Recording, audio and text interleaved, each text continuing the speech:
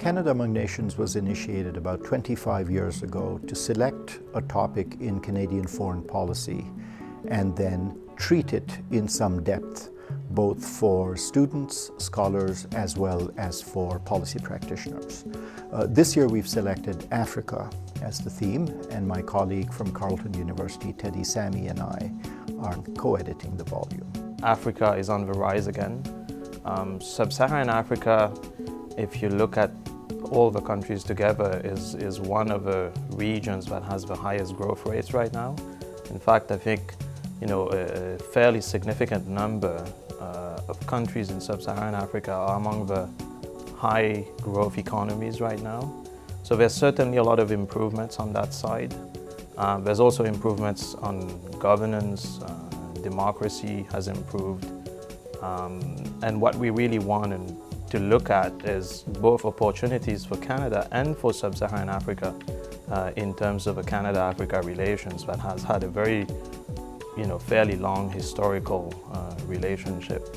We have a wide range of contributors. We have academics, we have practitioners, we have uh, people from civil society, and the idea is to bring them together, all of whom have very deep and wide experience in Africa as well as with Canadian public policy, bring them together and treat this subject in the detail that it deserves. And it's a subject, by the way, that has not been dealt in great depth uh, academically or in public policy. One of the themes of the book is that the Canada-Africa dimension is one that has not been fully understood and used to the benefit of all sides. The, this edition will be important for raising awareness and shedding light on Canada's policies towards, foreign policies towards Africa. And I think, you know, absolutely this will have an impact for those people who are just simply interested in Africa.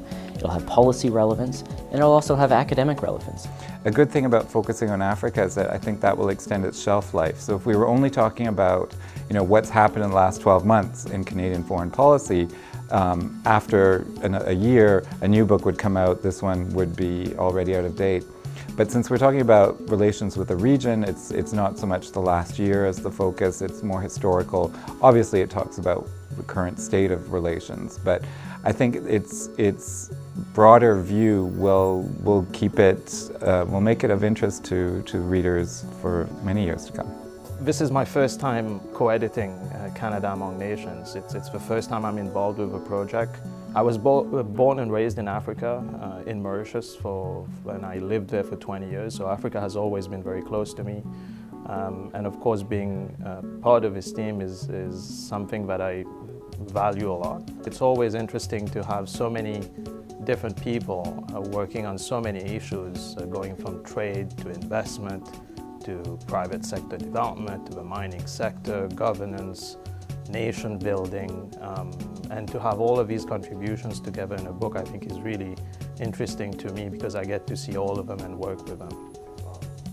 To learn more about the book, the best thing you can do is buy the book.